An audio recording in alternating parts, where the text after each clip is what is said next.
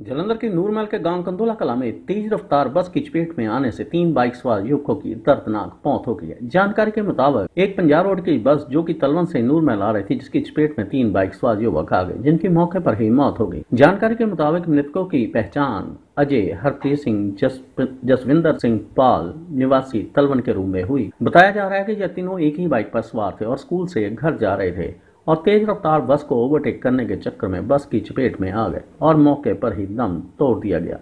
मौके पर पहुँची पुलिस इस मामले की जाँच कर रही है और ड्राइवर पर 304 का केस दर्ज किया है।